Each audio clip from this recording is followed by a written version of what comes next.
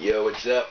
Moodz 616, and this is day one of Joe's, aka the HORRORman's, uh, seven day challenge. Uh, day one being favorite head explosions or decapitations. Um, I had a pretty good laugh last night because I watched the video when it first came up, and the very first thing I said was Deadly Friends. I said it out loud, and then Joe said it, and the wife said, Wow, how did you know that? But it's one of the best head explosion scenes I've ever seen. So I've been thinking about this pretty much all night. I was up like late, late watching, uh, saw some new TV series I just picked up. Um, and I was thinking and thinking, and I had so many good ones, so many good ones. Um, I actually watched all the videos just right now.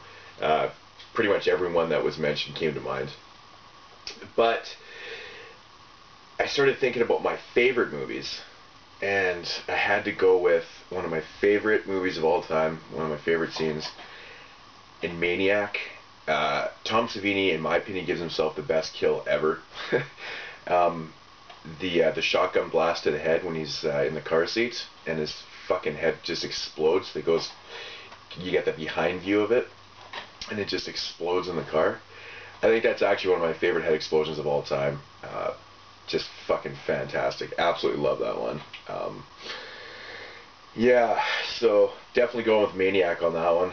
Love that. I think Tom Savini did an excellent job um, with the effects on that scene. Obviously, giving himself the best best kill is just classy, classy. But yeah, definitely going with Maniac for day one.